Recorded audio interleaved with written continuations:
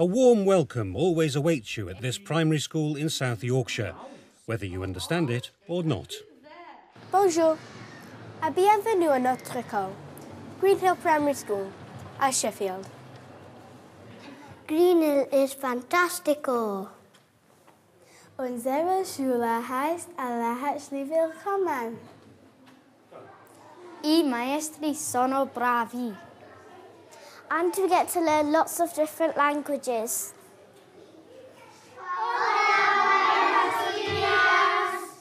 ¿Cómo te llamas? Me llamo Thomas. ¿Y tú? Me llamo Brandon. At Green Hill School, four modern foreign languages can be heard being spoken or sung.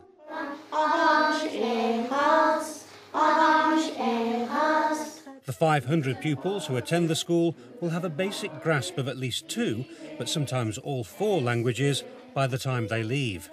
Sei, sei. It's a multilingual culture that's been developed with help from people from all over the world. My name is Claudia Cifarelli. I'm an Italian teacher. I come from Italy. I was born in Sicily. I'm Cristina Camacho Rodriguez. I'm from Spain. I'm Tamara Thoma and I'm from the south of Germany. My name's Carol Yates and I was born in Northamptonshire. I came to study at Sheffield University and I stayed here. And I've been teaching at Green Hill for over 30 years. It's Carol who's nurtured the growth of modern foreign languages over that time, with a passionate belief that no school should be satisfied with merely speaking in English. She teaches French, but has overseen the introduction of Spanish, Italian, and German.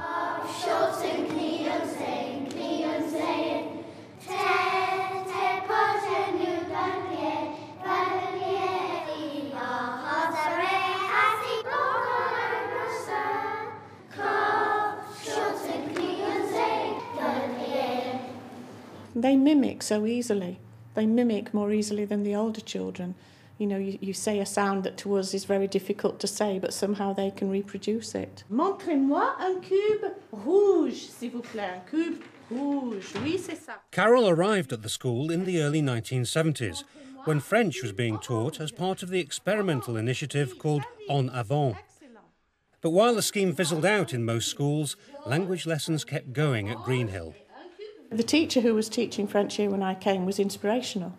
And um, so I, I never let it drop. I've always done a bit of French um, and found that the children who are in the class enjoy it. I like to learn how to speak in French. Is it useful in Sheffield? Um, yeah.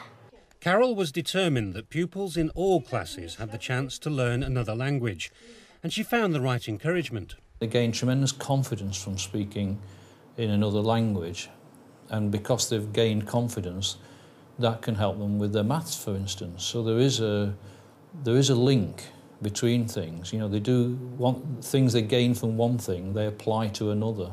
Carol started uncovering the hidden talents of some of her colleagues, like Year 5 teacher Chris Hawksworth.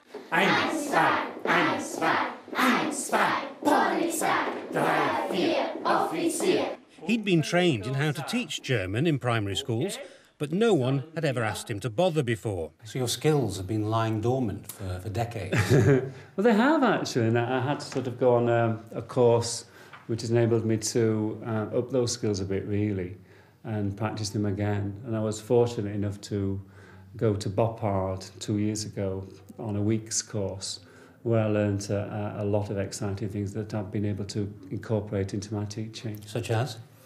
Well, such as uh, games and songs and uh, very simple techniques like a change of voice. Guten Morgen! Guten Morgen! Guten Morgen! I just hope that by my example, I'm hoping to foster an interest in languages and that then children then will have an opportunity to select which language they're most interested in. I notice you're, you're not actually wearing lederhosen in class. I don't, you've not seen my legs. Where might they speak Spanish if we went on holiday? Brandon. Mexico. Mexico, well done. When Year 3 teacher Jan Reed decided to improve her own language skills by going to night class, she immediately regretted talking about it in the staff room. She was reluctantly persuaded to bring the Spanish she learned in the evening into the classroom during the day. The regret and reluctance, however, were extremely short lived. I've really, really um, got, got a lot of pleasure from teaching it, in spite of not wanting to do it to start with. Um, I think that rubs off onto the children, and they are enthusiastic about it and they look forward to doing it. ¿Cómo estás? Estoy contento. ¿Dónde vives? Vivo en Inglaterra. And you must find it useful when you go to your villa in the Costa del Sol. I'm looking forward to that day when it's my villa in the Costa del Sol. But it is, yeah. I enjoy it now, and I'm brave enough to, to do it myself now when I go on holiday. ¿Cómo se dice en inglés? ¿Cuántos años tienes, Connor? How old are you? How old are you? Ah. Do you understand what's going on? Because I don't. Sí. yeah. Are you good at Spanish? Yeah. Mm. What's good about it? Well, it's just like lots of different countries speak Spanish. Even, cause it's not just Spain that speaks Spanish, lots of other countries do it too. Hola, buenos días. Hola, buenos días.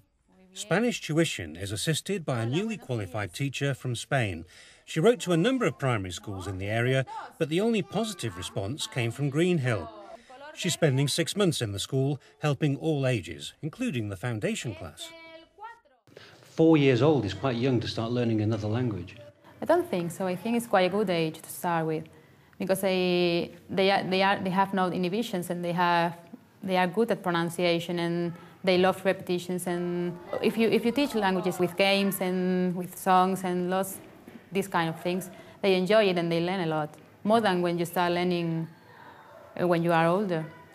Also in school at the moment is a trainee teacher from Germany.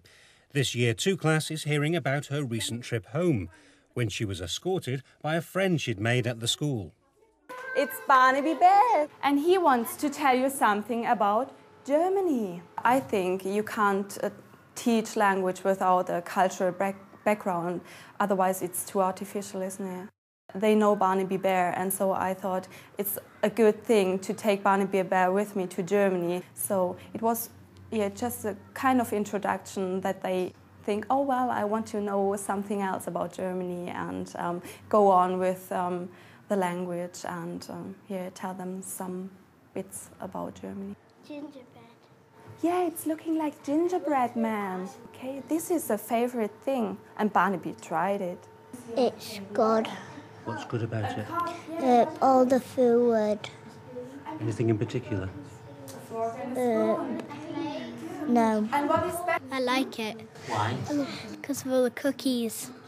Is it better than Sheffield? Yeah. Better than Sheffield? Yeah. Oh, don't you have cookies in Sheffield? Not the ones like in Germany. Do you remember when we sent the letters to the Italian children in Sicily, in Pedara? So this teacher has sent back a nice parcel for you. Wow, guardate, è un quadro. Italian language and culture is taught by a visiting teacher funded by the Italian government. It's a service which started a long time ago for um, first and second generation of people, Italian people who moved abroad from Italy. So that's why.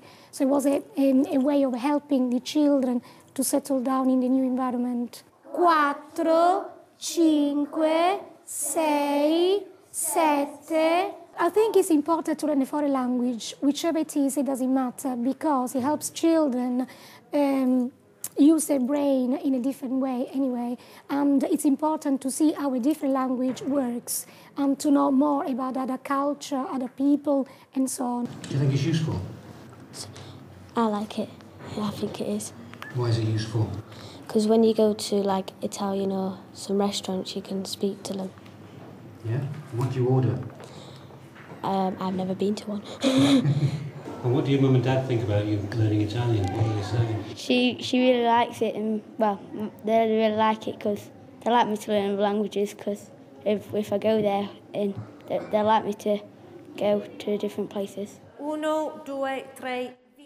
Italian lessons are also being taken this year by a linguist from the nearby Meadowhead Secondary School and Language College. Again, the teaching involves a lot of games and activities. The lion game, that was uh, to practice um, how old are you and, uh, and the answer. It's like a, a race between two teams, which team can say it uh, the, the quickest, saying it accurately, as accurately as possible. Habito in España, a Madrid. So, are you always having to think of new games? Yes, so they can do an activity that they enjoy and that it will help them to learn those question and answers, which in the classroom just sat next to each other, practicing them can be a bit boring. D'accordo. Come ti chiami? Eh, mi chiamo Amir. Benissimo. But you find primary pupils are very receptive to languages? Very, very. Um, More so than secondary pupils? More so than secondary because they, there are no inhibitions. You know, there's no peer pressure, there's no, they're not, they don't mind what they say. The visiting teachers stay in touch and forge lasting links when they return to schools in their home countries. And they include a teacher from China who came to Green Hill last year. Everything we've done so far has been European, apart from the Chinese input that we've had. Um, but you know, we don't say we don't say no to. We say yes to everything we're offered, really, no matter where it's from. It just happens that Europe is closer, and that's what we get. By welcoming visitors from abroad, accepting all offers of help, and using bilingual staff, Greenhill has managed to provide language lessons for every pupil every week. But the school's found that pupils make the most progress when they're taught by their own form teachers. I've done it in two different ways. I work with my own class and I can teach a little bit every day and then it, it gets consolidated really quickly. But um, when I teach a class once a week, which I did last year, that was more difficult to make the progress.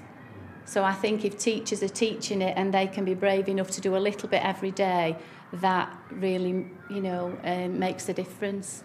It means that pupils can use their language skills in other subjects, especially maths. 58 menos 1. 57. Muy bien, 57. Taking the register provides another opportunity. Uno, dos, tres, cuatro, cinco, seis, siete, ocho, nueve, diez. I mean, there are more staff now actually volunteering to learn languages than, than ever before. You know, actually going off and doing evening classes and trying to improve their own competence, uh, just so they can stay stay with the pupils. I mean, that's fantastic, isn't it? Recent government encouragement of languages in primaries is, of course, welcomed at Greenhill, but they'd like more official recognition. On that shelf, there's the Ofsted Chief Inspector's report, and that's really when you look at what, what are called successful schools in there, that's success based on SATs, not success based on a whole raft of things in school. That's not fair. Despite that, the school is keen to expand its language teaching. It's an essential part of preparing pupils for life beyond Yorkshire. And I hope that if, if and when they travel abroad, they won't feel such a stranger and they, won't, they will have a better understanding of all of the other cultures and peoples that they've been learning about and that it'll help dispel some of the myths of, you know, English is best and when we go abroad we have to have English food and we have to speak English. I hope that children from here will not be that sort of person when they're travelling abroad.